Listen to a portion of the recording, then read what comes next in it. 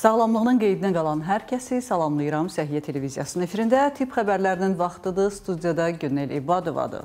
Baxaq görək bu gün dünyada və ölkəmizdə hansı vacib tibb xəbərləri baş verib. Keçid edək xəbərlərimizə. Saçlar xanımlar üçün həddindən artıq vacib bir orqandır. Çünki məhz saçların sayəsində qadınlar özünü daha güclü və qüdrətli hiss edir kimyoterapiya alan xanımlara xoş xəbərim var. Artıq bu müalicədən saçlarınız tökülməyəcək. Səbəb isə elmin yeni kəşfidir. Diqqətlə izləyin. Mütləq bu xəbəri yadınızda saxlayın və ölkəmizdə mövcud olan kimi məhz kimyoterapiyada bu üsulla müalicəni tələb edin.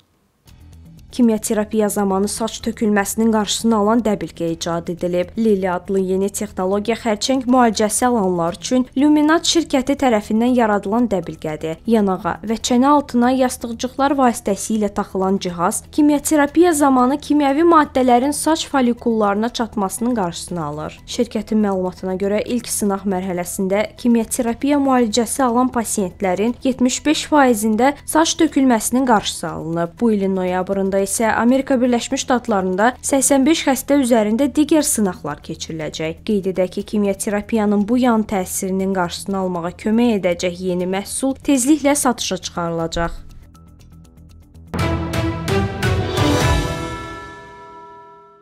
Niyə işdə deyir gülür, axşam evə gələndə aqressiv olur, adam heç üzünə də baxmaq istəmir. Bir çox xanımlar həyat yoldaşları üçün bu sözü işlədirlər.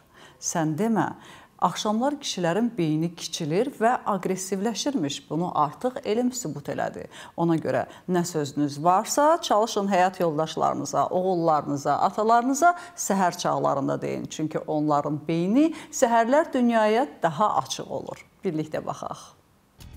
Kişilərin beyni axşamlar daralır, gecələr isə bərpa olur. Kaliforniya Universitetinin alimləri tərəfindən aparılan maraqlı bir araşdırma bu fenomeni açıqlayır və nəticələr həqiqətən də heyrətləndiricidir. Unikal araşdırmada alimlər bir neçə 24-26 yaşlı kişinin beynini 30 gün ardıcıl müşahidə edib. Tədqiqat The Journal of Neuroscience jurnalında dərc olunub. Kişi beyni gün ərzində müəyyən ritmlə pulsasiya edir. Ümumi həcmdə və kortikal qalınlıqda nəzərə çarpacaq dərəcədə dərəcədə azalma saat 8-dən sonra müşahidə edilir. Ancaq bir gecədə bu daralma bərpa olunur. Qadınlarda gündəlik hormonal dalğalanmalarla üzləşir. Ancaq menstrual dövrün uzun müddətli hormonal dəyişiklikləri səbəbilə bu fərqliliklər gizlənə bilir. Tədqiqatçılar zehni funksiya, emosiya və hərəkətdə iştirak edən beynin boz maddəsinin həcmindəki dəyişiklikləri də qeyd edib. Axşama doğru bu 0.6% azalır. Təsirə məruz qalan ərazilər motor koordinasiyası informassiyası, məlumat ötürülməsi və yaddaşın saxlanılmasına cavabdehdir. Yəni bu beynin strukturlarında dəyişikliklər müxtəlif gündəlik funksiyalara potensial təsir göstərir. Kişilər axşama doğru daha aqressiv və ya emosional olur.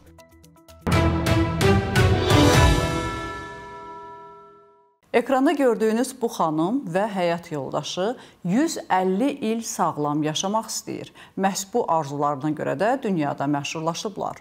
Əgər onların günlük rejiminə qulaq assanız, kifayət qədər təəccüblənəcəksiniz.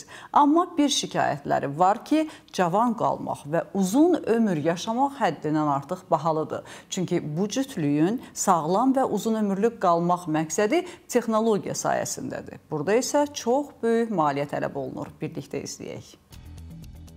Dünyanın ən sağlam və uzun ömürlü cütlüyü olmağı arzulayan ailə müzakirələrə səbəb olub. 150 yaşa qədər yaşamaq istəyən sevgililərin həyat tərzi və yaşam rejimi diqqət çəkib. 33 yaşlı Kayla Lentz və 36 yaşlı Warren Lentz biohackingdilər. Yəni sağlamlığı və uzun ömürlülüyü təşviq etmək üçün nəzərdə tutulmuş təmiz, texnologiyaya əsaslanan həyat tərzi yaşayırlar. Bir il əvvəl ailə quran cütlük mütəmadi hüceyrələri stimullaşdırmaq və iltihabı azaltmaq üçün impulslu elektromaqnit sahəsi terapiyasından keçir. İnternetdə tanışlıq saytında başlayan sevgi macərasının qəhrəmanları indi uzun ömür yaşamaq üçün səhər günəş çıxmadan idman edir və gəzintiyə çıxır. Bundan sonra soyuq su ilə duş alıb təzyiq kamerası, yəni baro kamerada otururlar. Təbii məhsullarla səhər yeməyi yedikdən sonra işə gedən cütlük şam yeməyini altının yarısında edir və axşam saat 9-da da yatır. Barnes Land sosial şəbəkə hesabında dünyanın ən sağlam orqanizm gücünə malik olan qadınlardan biri olduğunu iddia edir. Bu sağlamlıq səviyyədə olmaq üçün çox maliyyə tələb olunur. Hər ildə texnologiya cavanlaşmaq və uzun ömürlü yaşamaq üçün müxtəlif cihazlar təqdim edir. Məsələnin ən xoşa gəlməz tərəfi də budur ki, bu texnoloji yaşamağa dəstək avadanlıqları çox bahadır. Hər biri əl çatan deyil deyə Warren Lenz etiraz edir. Buna baxmayaraq cütlü 150 il yaşamağın onlar üçün arzu yox, məqsəd olduğunu bütün dünyaya sübut edəcəklərini deyir. Bu cütlüyün arzusuna münasibətiniz necədir? Bəs siz 150 il yaşamaq istəyərdinizmi?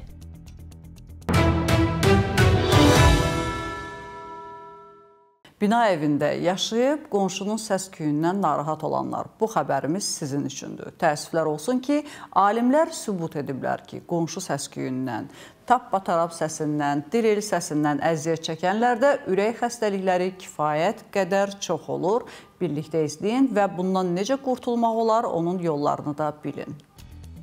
Səs-küylü qonşular ürək-damar xəstəlikləri yaradır. Kanada Milli Tədqiqat Şurasının yeni araşdırması sübut edib ki, qonşuların ayaq səsləri digər səslərdən daha bezdiricidir. Bu hətta ürək-damar sisteminə, fiziki və psixi sağlamlığımıza təsir göstərir. Kanada, Koreya və Almaniyadan olan elm adamları araşdırma üçün qonaq otağına oxşar mühit yaradıb. Yerə düşən əşya və insanların ayaq səslərini qeydə alıb. Daha sonra onlar tədqiqat iştirakçılarını səs ucaldıcı və qulaqlıqlar aparatlar vasitəsilə səslərə məruz qoyaraq qıcıqlanma səviyyəsini 0-dan 100-ə qədər cədvəl ilə qiymətləndirib. Tədqiqat rəhbəri Markus Müller müəyyən etdi ki, belə arzu olunmaz səslərə uzun müddət məruz qalmaq ürək-damar problemlərinə və yuxu pozuntusuna səbəb olur. Milli Səhiyyə Xidməti isə əlavə edib ki, yuxusuz gecələr, piylənmə, ürək xəstəlikləri və şəkərli diabet kimi sağlamlıq problemlərinə də yol açır. Qeyd edək ki, Kanada rəsmiləri bildirib ki, insanların 80%-i səs-küydən şikayətlənir. Qonşudan gələn xoşa gəlməz səslərdən ildə orta hesabla 130 min insan şikayət edir.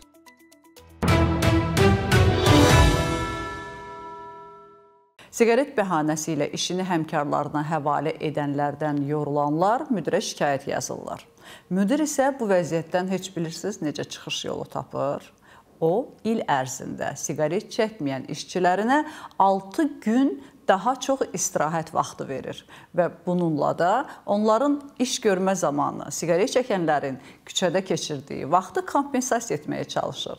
Bəs siz necə il ərzində 6 gün daha artıq istirahət eləmək üçün bu tütün məlumatından əl çəkərsiniz? Bu şirkət siqaret çəkməyən işçilərinə əlavə 6 gün məzuniyyət verir. Yaponiyada fəaliyyət göstərən Piala Inc. adlı şirkət hər il siqaret çəkməyən əməkdaşlarına əlavə 6 gün tətil verir. Rəhbərlik bununla əməkdaşları siqaretdən uzaqlaşmağa təşviq edir. Məlumata görə gün ərzində işçilərin siqaret fasiləsinə ayırdıqları bir neçə dəqiqə siqaret çəkməyənlərə nisbətən ofisdən əlavə daha çox vaxt alır. Tütündən istifadə etməyən əməkdaşlar isə çəkənlərlə müqayisədə il ərzində ərzində 6 gün daha çox istirahət edir. İşçilərimizdən biri şirkətin təklif və şikayətlər qutusuna siqaret çəkmə fasilələrinin problem yaratdığını bildirib. Baş direktor isə siqaret çəkməyən işçilərə kompensasiya olaraq məzuniyyət vermək qərarına gəlib deyə şirkətin sözçüsü izah edib. Qeyd edək ki, Ümumdünya Səhiyyə Təşkilatının məlumatına görə Yaponiyada kişilər qadınlardan 3 dəfə çox siqaret çəkir.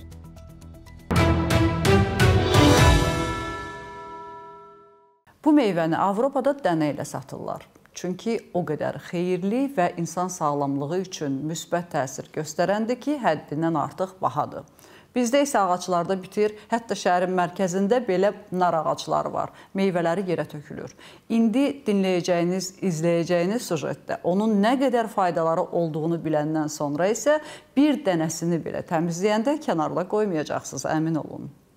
Alimlər xalq arasında cənnət meyvəsi olaraq da bilinən narın çox saylı faydalarını açıqlayıb. Bir kasa narın tərkibində 93 kalori, 230 qram protein, 20-88 qram karbohidrat və 0-14 qram yağ var. Alimlər narın qan təzyiqini normallaşdırdığını bildirir. Yüksək təzyiqi olan insanlar üzərində aparılan tədqiqatlar göstərir ki, nar şirəsi qan təzyiqini aşağı salmağa kömək edir. Bundan əlavə narın infeksiya ilə mübarizə aparmaq xüsusiyyəti də var. Nar antibakterial xüsusiyyətləri ilə bədəndəki infeksiya ilə mübarizə aparmağa kömək edir. Yaddaşın gücləndirilməsi, əzələlərin inkişafı üçün də narın istehlakı məsləhət görülür. 4 həftə ərzində müntəzəm olaraq nar şirəsi içmək həm vizual, həm də şifahi yaddaşı yaxşılaşdırdığı sübut edilib. Mütəxəssislər idmandan əvvəl bir kasa nar yeməyin əzələ inkişafına faydası olduğunu vurğulayıb. C vitamini və antioksidantlarla zəngin olan nar şirəsi qan lipidlərini oksidləşmədən qoruyur və arterial lövhə əmələ gəlməsinin qarşısını ala bilir.